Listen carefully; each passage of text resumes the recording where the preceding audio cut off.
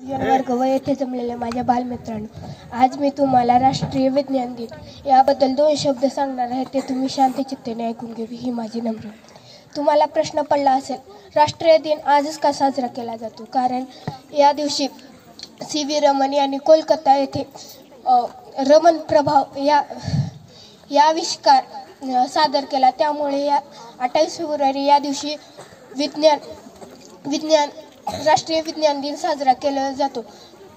राष्ट्रीय C V र राष्ट्रीय विज्ञान दिन साजरा केला जातो. C V Raman C V Raman यांचा जन्म आठ नो सात नोव्हेंबर. सात नोव्हेंबर अठराशे अठ्ठ्याऐंशीला झाला व ते त्यांचा जन्म त्रिचन्नापल्ली या गावी झाला. त्यांचे शालेय त्यांचे त्यांचे शालेय जीवन हे खूप चांगले व त्यांचे नाव शालेय जीवनात खूप चमकले. त्यांचे शिक्षण झा झाल्यानंतर त्यांचे शिक्षण झाल्यानंतर त्यांना एक नोकरीची उत्तम संधी मिळाली व ते कोलकात्यात नोकरी करू लागले.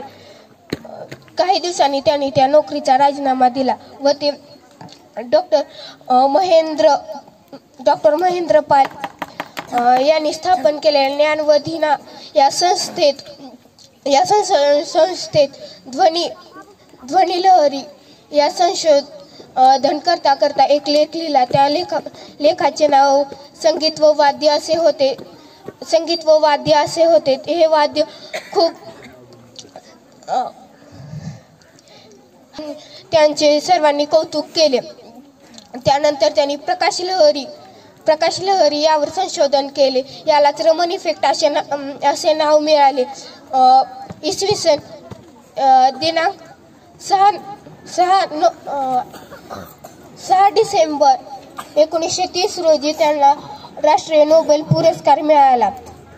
राष्ट्रीय नोबेल पुरस्कार मिळाला व चंद्रशेखर चंद्रशेखर व्यंकटरमण यांचा गौरव करण्यात आला. जय हिंद जय महाराज